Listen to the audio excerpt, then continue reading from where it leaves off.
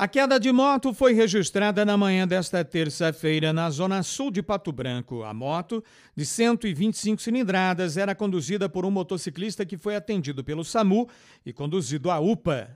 A queda aconteceu aqui na esquina da Rua das Hortênsias, né, com a Rua Bento Gonçalves, no bairro Cristo Rei.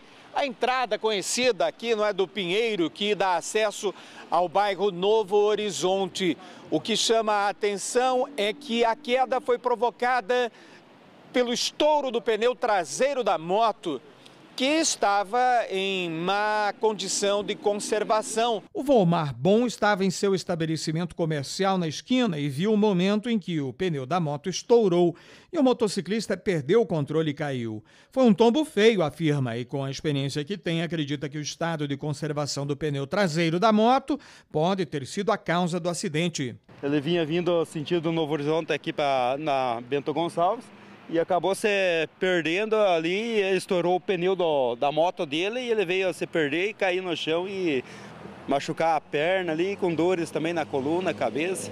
E daí eu fiz um pré-atendimento ali, dando água e assistência para ele, e recolhendo a moto dele ali para não ficar no meio da rua. E demos, chamamos o SAMU também ali para atender o rapaz. Para atender o rapaz ali. Conhece ele? Conheço ele.